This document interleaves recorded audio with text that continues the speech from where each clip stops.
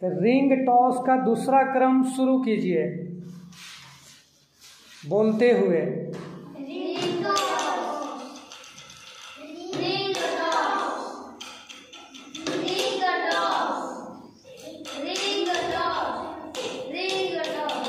बहुत सुंदर।